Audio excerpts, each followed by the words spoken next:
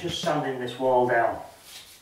And uh, because the paper that's going on this wall is so thin, it shows any little um, lump under the wall. So really, all I'm doing is denibbing the wall from any little fine lumps. The actual plaster is lumpy. It's, it's you know, it's not smooth. So the idea of getting a sander on it and trying to sand it down with an electric sander is just no good. Um, because I'm not after getting it a thousand percent smooth. It's just getting rid of the lumps and the little nibs. Now, what I've been taught off my dad is when you've got your sandpaper, have it in your hand, so the palm of your hand is also rubbing on the wall. Might sound a bit daft, but what it does, if you pick any lumps up with the palm of your hand, you can stop and sand it straight away. So as you're sanding, you'll feel a lump with the palm of your hand, and you can get rid of it and carry on. Stop. It's so much, it's just the way it's done. I'm going to show you how to paper this wall. Uh, it's been prepared, all the fillings done on it. It's been sealed with PVA and then um, I've sanded it down so it's now ready to paper. So what I'm going to do first of all is check how many lengths I need for the wall. I'm going to start in this corner and work that way. It doesn't matter with this paper because there's no true pattern to it. So it doesn't matter which corner you're starting as long as you start from the natural light and work away from the natural light. So from this corner, I'm going to work to there, and then I'm going to start from the corner over there and work back this way to this corner. So putting your paper to the wall, what you want to do is just check up the side of the plaster just have a look where it dips in and where it dips out. And where it dips in, you're better off putting your paper there Sorry, two pencils, and then put a mark just a quarter of an inch in. And that's what you're going to be put, putting your plumb line down.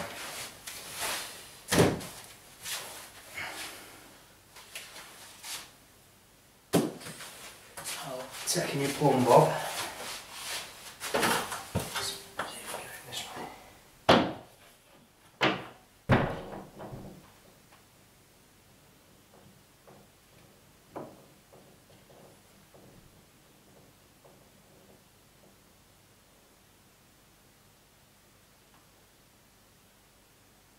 Plumb a line down your wall.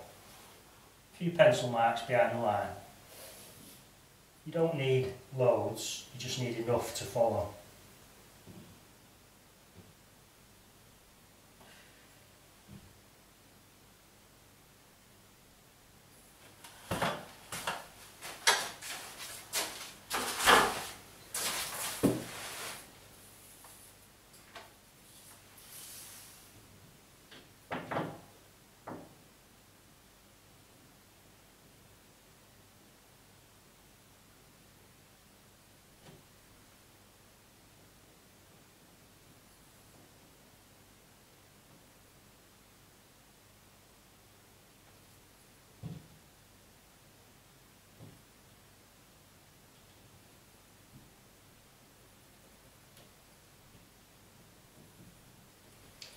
It's really important to get that line right.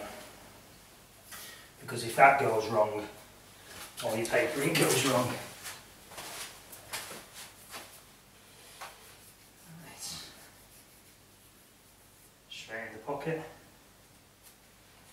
Ready for the next thing. So, you, you, it's important to time your paper for how long you soak it. So what you need to do check the instructions. Five minutes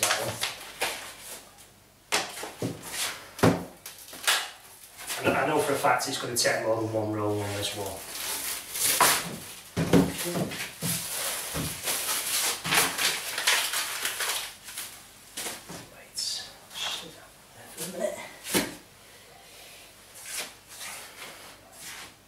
So I've got my timer ready just put uh, five minutes on that. Leave that there. Right. Opening your paper face up to you. So you can check over the pattern. You can make sure there's no marks or anything like that. And taking your tape measure, measure the wall.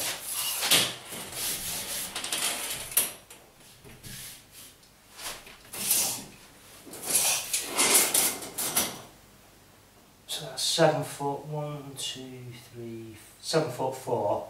So really you want an inch and a half either side. So seven foot four, seven foot five, seven foot six, seven foot seven.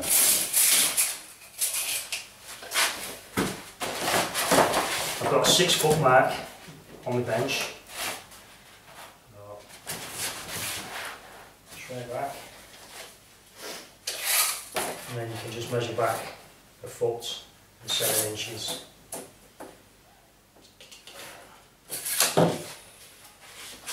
Cut your paper there.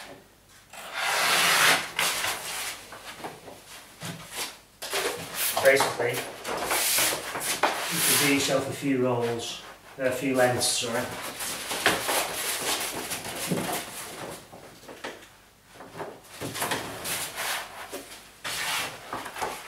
Always making sure you're keeping everything in line. Your bench is nice and straight. Because that helps with your cuts.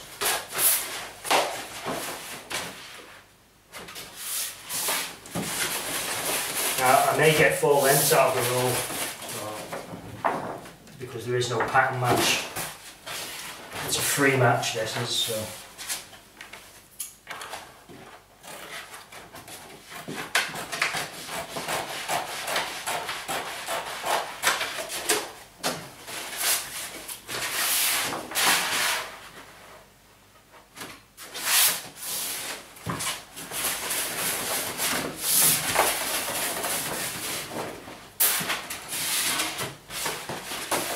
So yeah, Lengths out of the roll there. I have a feeling that wall's possibly just going to take six. So what I'm going to do is check it.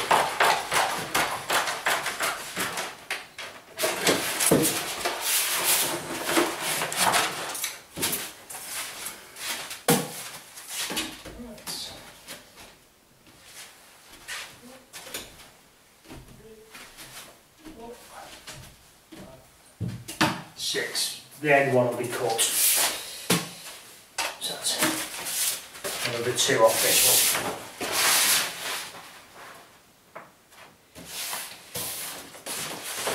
Opening, opening them face up like this helps with the paper not springing back on you.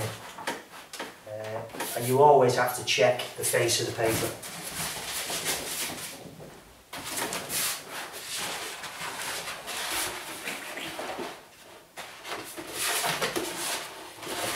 Spring, spring, yeah.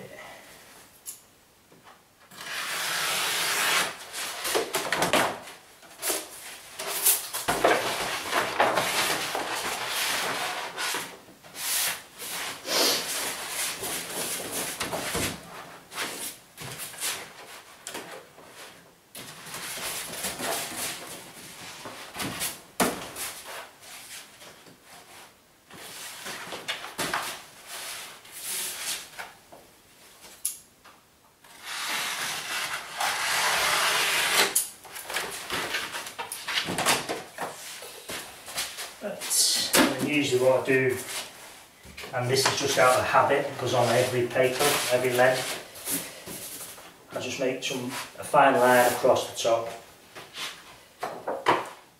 One, it allows me to know which is the top of the paper every time, although your longer fold is usually the top of the paper. But this helps when you're cutting off pieces and you've got bits and then you cut a side off and you know where the top is straight away just makes things faster from here. And what you've got to do is fold the paper back the other way.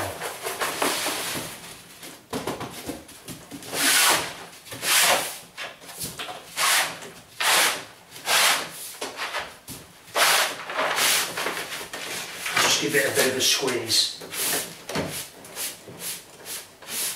What you're doing is you're breaking its back to take the springiness out of the paper. So when I turn it over the other way, it will all fold up on me. I mean, sometimes you still get it doing it because these plastic quilted papers are so springy, they just don't give.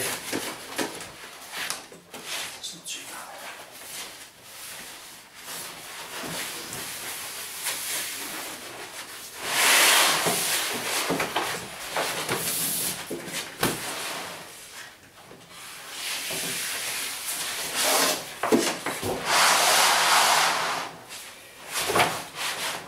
What you want is to your bench, right in the centre.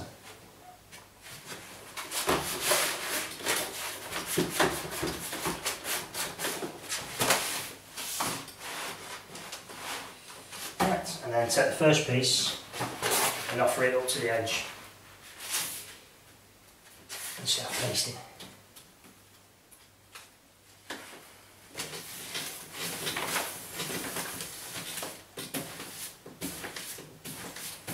I'm using a ready mixed paste for this.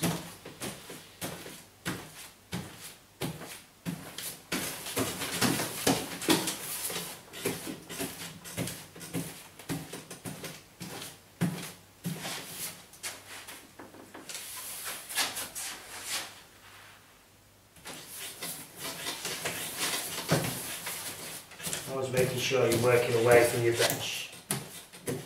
Never pull it back the left.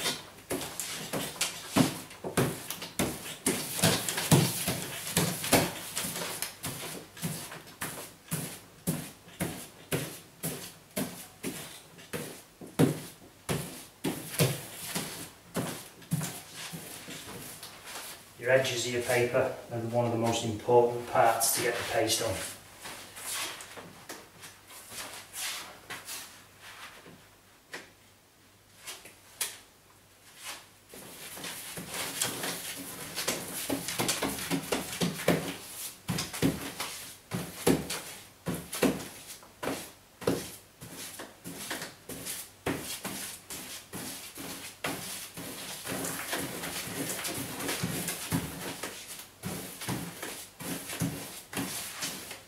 Get any hairs in. Make sure you get them out.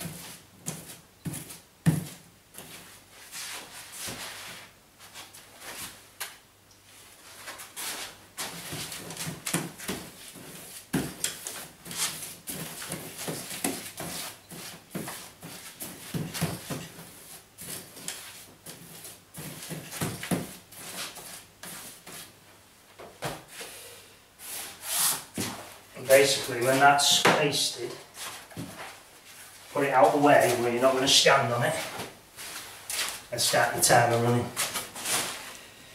So as soon as my timer goes off, I'll put this paper up.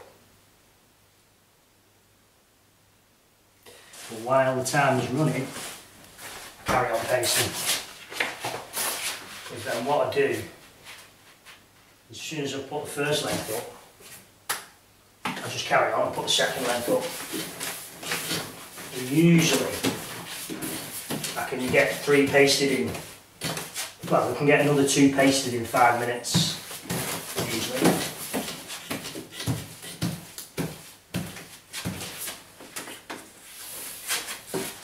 But this is ready mixed paste, so It's a bit more difficult to spread.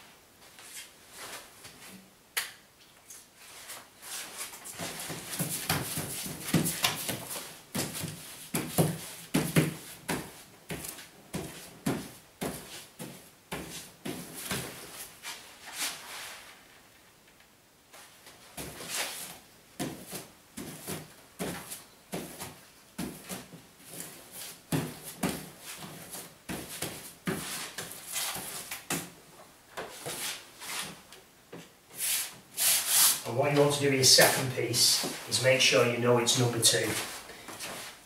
And then the third one goes beyond it because you don't want to be getting them mixed up.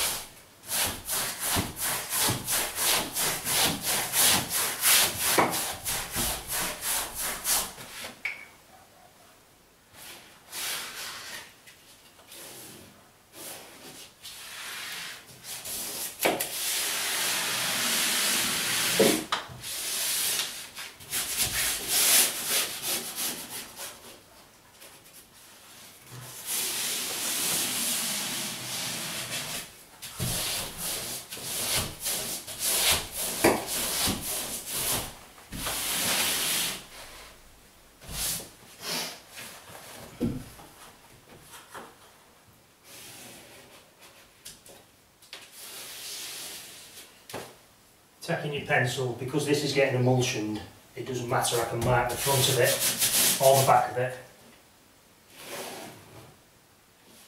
Oh, there's a little bit of trimming off at the side as well there.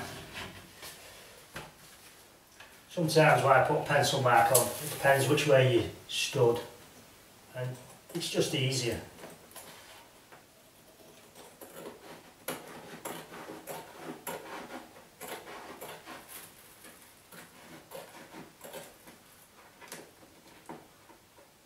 Can use razor blades. I don't like using them personally.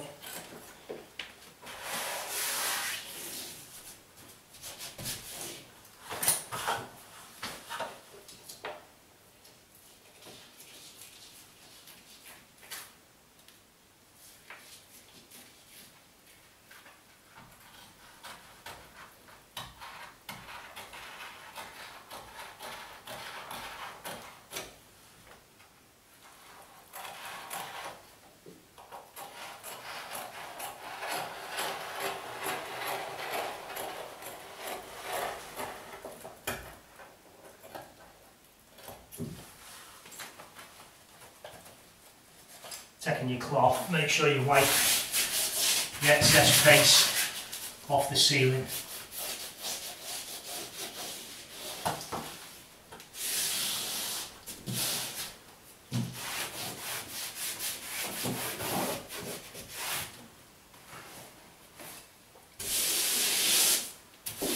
And then check over it, make sure there's no bubbles in it.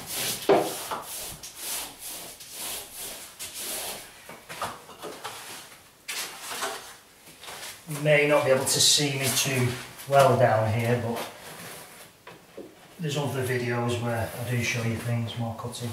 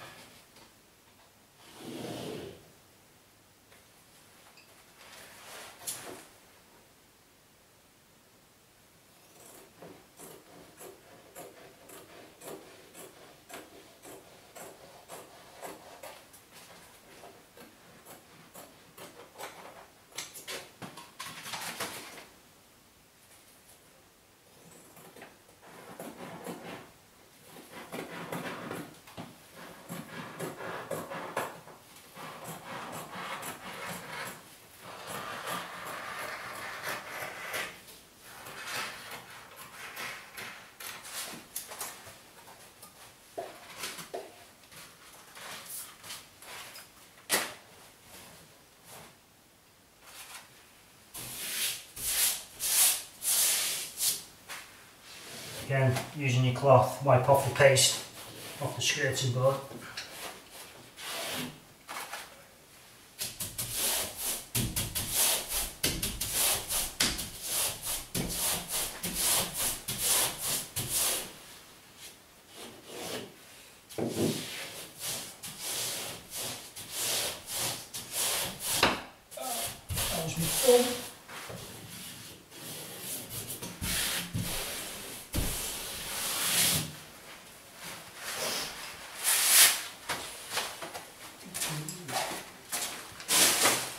Give your cloth and rinse out.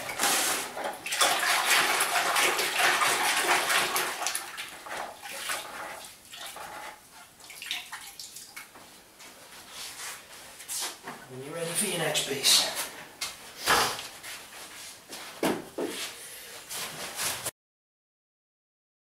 I'm going to try and just work out which way is best to put this, these step ladders for the camera. Let's just let me see. You might not see much of this.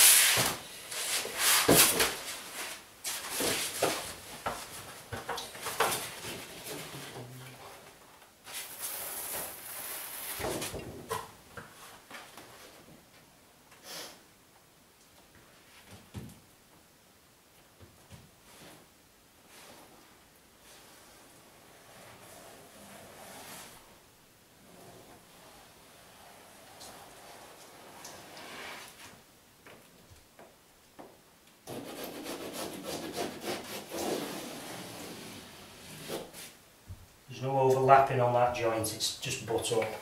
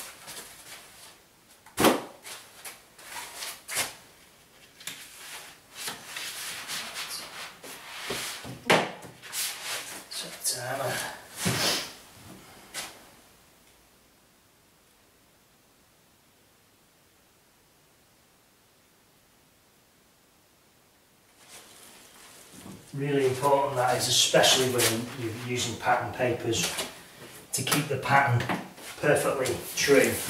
Every length has to be soaked exactly to the same time.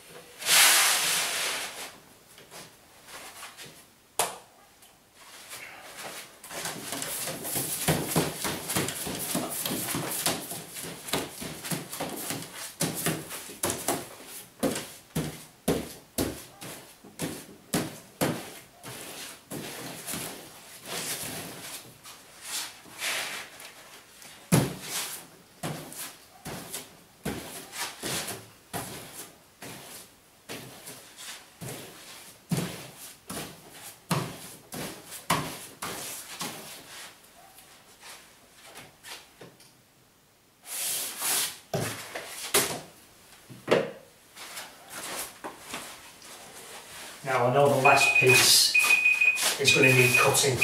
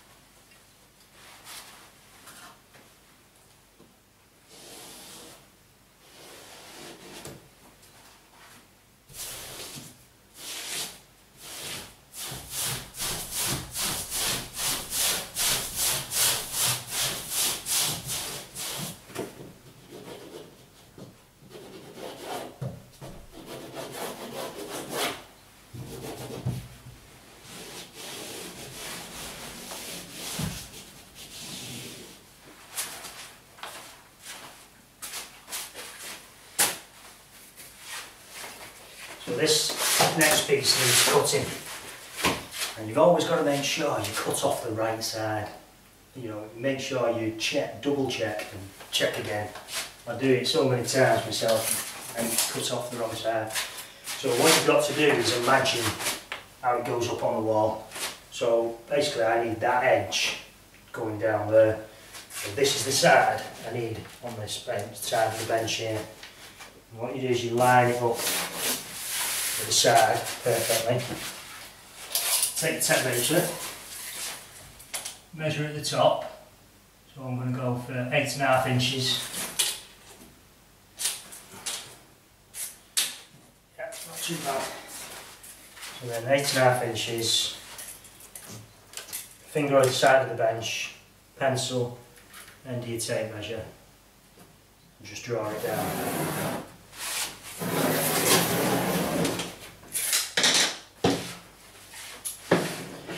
Keeping the bottom of your scissors on the go.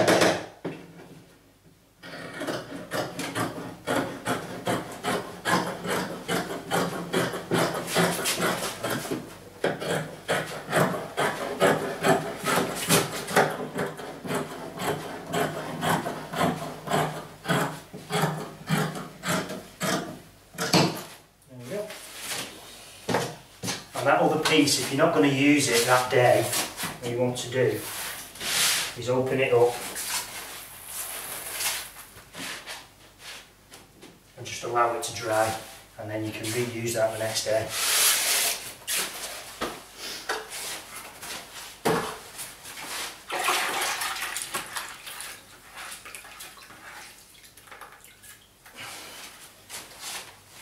And again, I don't have to mess about with it because I know exactly which is the top I know exactly which side I've cut off because I put a pencil line across.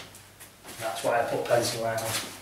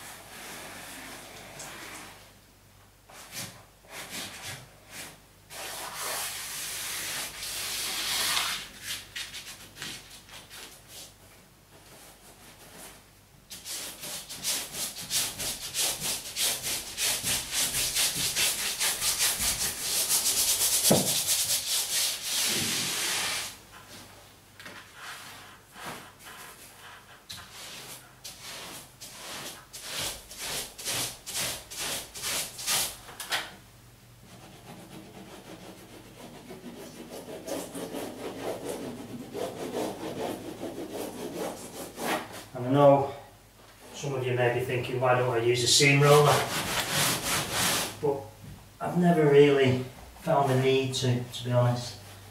I like using my fingers and my back of my nails. I mean, some papers, if it's really expensive paper, I might get the uh, seam roller out um, so you don't leave any uh, marks up the paper, especially if it's a sheen on the front of the paper. You don't want to be rubbing it with your fingers and things like that. So there is different techniques for every paper. Um,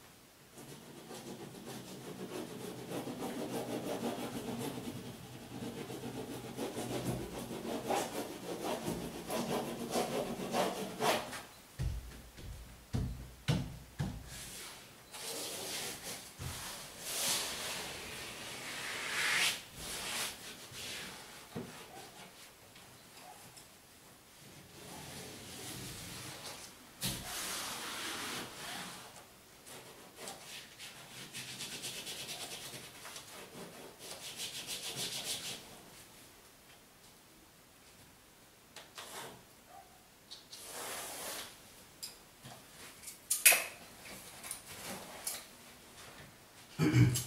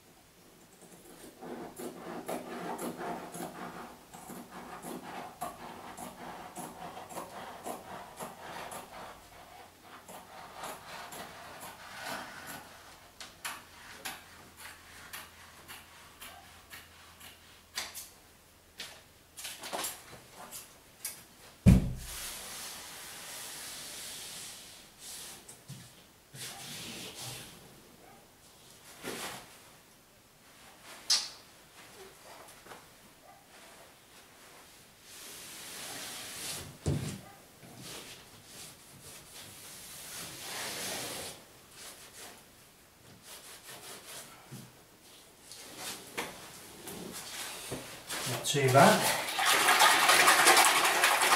What I'll do in a minute, I'll give you a closer look at some of the cutting and uh, some of the joints because I need to talk about some of these joints. Um, some of these modern papers now, I think it's the way they're made on the rolls, the machines and that, that they seem to leave a, a kind of an anomaly within the edges of the paper. They're just about, you can just about deal with it, but I think the manufacturers need to address it because um, it's a bit of a pain, especially when you're a perfectionist. Let's have a look. So starting off with the corner there, you can see I've come round the wall by a little bit. And the cutting in, sorry, the uh, cutting at the top. Uh, I'll, I'll take it across to where there's a joint. Just there. So your cutting has got to be perfectly neat across them joints. Just show you another one. Uh, just there. You know, your cutting has got to be really neat across the top so when it's emulsion you don't see where the other piece of paper joins. Right, now going to some of these joints, what you find is it touches together there and it seems to come out a little bit there and then it seems to touch together there and then it comes out a bit and then touches a bit comes out a bit touches a bit. And this is on all the papers right? And it's a pain but the way you deal with it is you have to try and manipulate the bits where it's touching and pull them out slightly. And then the bits where it's not, you need to push them in slightly. So you have to go up your paper, pulling and pushing, pulling and pushing. So come on paper manufacturers, sort it out.